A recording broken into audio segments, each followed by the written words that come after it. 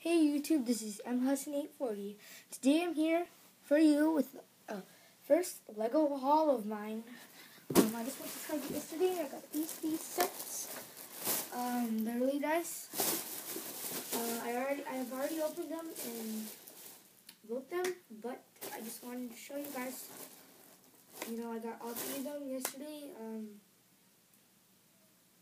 uh, yeah, and I. Built them yesterday afternoon, and uh, they're pretty fun. But uh, enough of that. Let's get on to the actual sets that I got. Let's start smallest to biggest. I got these sets. So the smallest set I got was uh, the awesomest of them all. One of probably.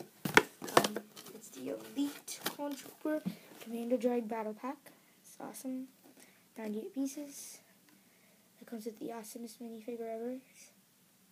And there's the back. Pretty cool. Uh, next. Got, all the extra pieces fell out. Uh, I got droid, the droid escape. Well, this is 137 pieces.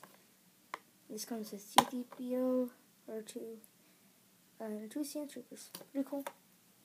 I was at the bike and the skate pump. Here's the back. Cool. And the last, uh, biggest one, the Target exclusive, is Anakin's Jedi Interceptor. Since it's five minifigs, three new and hard to find ones, too. Anakin, Nute Gunray, Obi-Wan, and then Security Violator, and another archer. Yeah, so